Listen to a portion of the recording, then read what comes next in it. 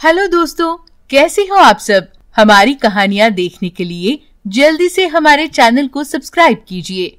और हाँ bell icon पर क्लिक करना भूलिएगा मत। वो एक खूबसूरत गाँव था। सतपाल अपनी गर्भवती हथनी को गाँव की नदी में रोज नहलाकर घर ले जाया करता था। हथनी भी सतपाल से बहुत प्यार करती थी। सतपाल अपनी रोजी रोटी कमाने के लिए सब्ज़ी बेचता था। सब्ज़ी ताज़ा ताज़ा सब्ज़ी सब्ज़ी ले लो सब्ज़ी। यू गाँव में गली गली घूमकर सब्ज़ी बेचता था। हथनी भी सब्जियों का ठेला ढोने के लिए उसकी मदद करती। एक दिन सतपाल जब हथनी को खाना खिलाने जाता है तब देखता है, वो बड़ी कमज़ोर लग रही है। क्या हुआ? आज बड़ी कमज़ोर दिखाई दे रही हो? खाना भी नहीं खा रही हो? क्या बात है? देखो, तुम ऐसे करोगी तो तुम्हारे बच्चे को सही पोषण कैसे मिलेगा? पर हथनी खाना नहीं खाती। तुम्हें एक बार डॉक्टर को दिखाना होगा और सतपाल उसे पशु अस्पताल ले जाता है। रास्ते में एक कार तेज रफ्तार से उनकी तरफ़ आती है। शायद ड्राइवर ने शराब पी रखी हो। वो अपना संतुलन खो रहा था। कार यहाँ वहाँ भटक रही थी। सतपाल का कार की तरफ़ ध्यान नहीं था। वो अपने ही ख्यालों में चल रहा था। लेकिन हथनी ने तेज रफ्तार से आने वाली कार देखी। अरे, सतपाल का ध्यान नहीं है। और वो आगे जाकर अपनी सूंड से सतपाल को धक्का मार देती है। सतपाल बगल में जाकर गिर जाता है। लेकिन अफसोस, हथनी कार से टकरा जाती है। कार चलाने वाला आदमी वहीं मर जाता है। सतपाल होश संभालकर कार के पास आकर देखता है। हाय राम, ये तो मर गया। फिर देखता है कि हथनी के पाव में भी बड़ा सा घाव हो गया है। वो दर्द से बेहाल रोती रहती है। हे भगवान, मेरा बच्चा ठीक तो होगा ना? मेरे पैर में बहुत गहरी चोट आई है। दर्द मुझसे सहा नहीं जा रहा। हाँ उठकर खड़ा होना भी मुश्किल है मेरे लिए। उसे देख सतपाल परेशान हो जाता है। हे भगवान, ये क्या हो गया? और हथनी को जैसे तैसे अस्पताल ले जाता है। डॉक्टर हथनी की हालत देख उसे सहलाती है। सतपाल चिंतित होकर डॉक्टर से पूछता है, डॉक्टर साहब हथनी ठीक तो है ना? गर्भवती है वो। हाँ हाँ चिंता मत करो। माँ और बच्चा दोनों स्वस्थ है, पर हथनी का पैर काटना होगा। क्या? पैर काटना होगा? फिर तो वो चल फिर नहीं पाएगी। दूसरा कोई उपाय हो तो बताइए। दूसरा कोई उपाय नहीं है सतपाल। अगर पैर नहीं काटा तो इन्फेक्शन बढ़ जाएगा और इसमें हथनी की जान भी जा सकती है। ठीक है, डॉक्टर साहब। आप जैसा ठीक समझे। डॉक्टर हथनी का पैर काट देती है। कुछ दिन अस्पताल में गुजारने के बाद सतपाल उसे घर ले आता है। मुझे माफ़ कर दो, दोस्त। उस दिन मेरा ध्यान नहीं था। अगर मैं सचेत रहता तो वो हादसा नहीं होता तुम्हारे साथ। मुझे बचाने के लिए तुमने अपनी जान की भी परवाह नहीं की। हथनी उसका दुख देखकर, अरे, तुम दुखी मत हो। मुझे कुछ नहीं हुआ है और मेरा बच्चा भी स्वस्थ है। यही मेरे लिए सबसे बड़ी खुशी की बात है। मैं चल नहीं पाऊँगी, बस इतना ही ना, कोई बात नहीं। सतपाल उसी के बारे में सोचता रहता है। वो दूसरे दिन अस्पताल जाकर डॉक्टर से पूछता है डॉक्टर साहब, क्या मेरी हथनी को पैर लगाया जा सकता है? कोई रास्ता हो तो बताइए। नहीं, ऐसा कोई रास्ता नहीं है। क्यों डॉक्टर? इंसानों के तो हाथ पैर कटने पर कृत्रिम हाथ पैर लगते हैं ना? वैसा कुछ हो सके तो?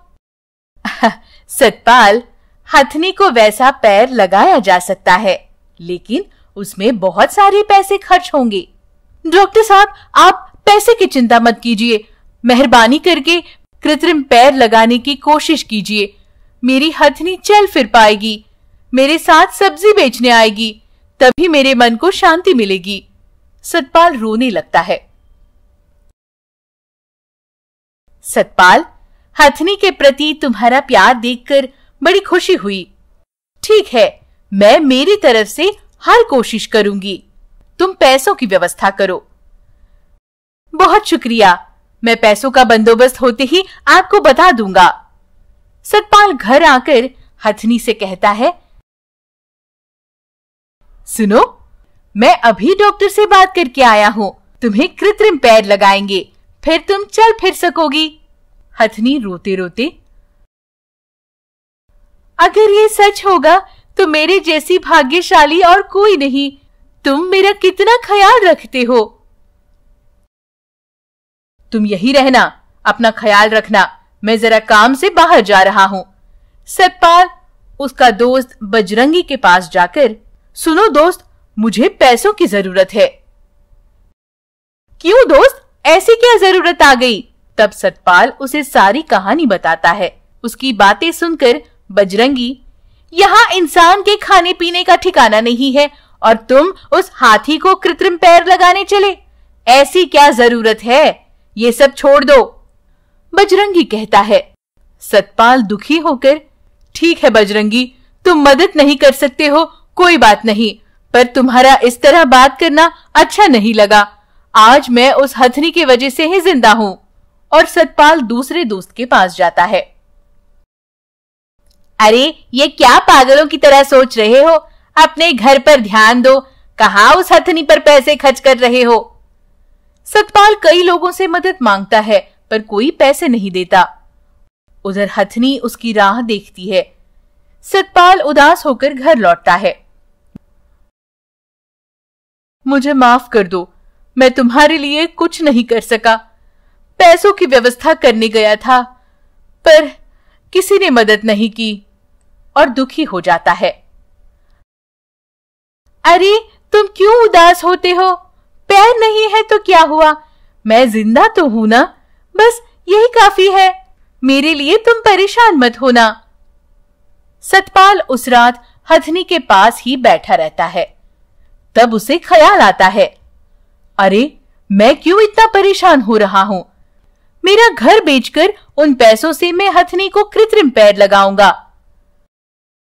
अगले दिन सतपाल घर बेचता है। गाँव के जमींदार उसे पैसे देकर घर अपने कब्जे में ले लेते हैं। सतपाल तुरंत हथनी को लेकर अस्पताल जाता है। डॉक्टर भी सतपाल से, ठीक है, मैं शहर के बड़े डॉक्टर से बात करती हूँ और जितनी जल्दी हो सके हथनी को हम कृत्रिम पैर लगाएँगे। कुछ दिन बाद शहर के डॉक्टर हथनी को कृत्रिम पैर लगा देते हैं। सतपाल से कहते हैं, हमने पूरी कोशिश के साथ उसे कृत्रिम पैर लगा दिया है। अब उसका ख्याल रखना आपकी ज़िम्मेदारी है। उसे अच्छा आहार दीजिए, चलने जैसी हल्की कसरत कराइए। फिर आगे ईश्वर की कृपा। सतपाल उन्हें धन्यवाद देता है। डॉक्टर ने क्या कहा? याद रहेगा ना सतपाल? तुम्हें इसका ख्याल रखना होगा। और वो वहाँ से चली जाती है। सतपाल हथनी को लेकर घर आ जाता है। उसे अच्छा खाना खिलाता है। पर चलते वक्त हथनी को पैर में दर्द होता है। आ, आ, मुझे पैर में दर्द हो रहा है। तकलीफ़ हो रही है। और वो रोने लगती है। अरे थोड़ी कोशिश करो धीरे धीरे फिर दर्द नहीं होगा। हथनी भी सतपाल की बात मानकर कोशिश जारी रखती है। धीरे धीरे उसे आदत हो जाती है, वो चलने लगती है। सतपाल फिर से अपना सब्ज़ी का व्यापार शुरू कर देता है। गाँव वाले हथनी का कृत्रिम पैर देख, सतपाल भी अजीब है। अपना घर बेचकर इस हथनी को उसने कृत्रिम पैर लगवाया और अब झुग्गी झोपड़ी में रह रहा है। कुछ लोग उसे सराहते। तो कुछ लोग, सतपाल, क्या इसने पूछा था कि मुझे पैर लगवाओ? तुम्हारी मती मारी गई थी जो तुमने घर बेचकर इसको कृत्रिम पैर लगवाया। सतपाल उनसे कहता, कोई कुछ भी कह ले, मैं परवाह नहीं करूँगा। मैं मरने के बाद कोई शायद मुझे याद भी ना करता। लेकिन आज मैं आपके सामने खड़ा हूँ, सिर्फ़ इस हथनी की बदौलत। उसने मेरी जान बचाई। उसका एहसान तो मैं नहीं चुका सकता। बस उसकी ये छोटी सी मदद की है मैंने। सतपाल की बातें सुनकर हथनी खुश हो जाती है। मन ही मन सोचती है, दोस्त, कितने अच्छे हो तुम। तुम्हारे जैसा दोस्त मुझे मिला, ये मेरा सौभाग्य है। हे भगवान, अगले जन्म में मुझे सतपाल की बेटी ही बनाना।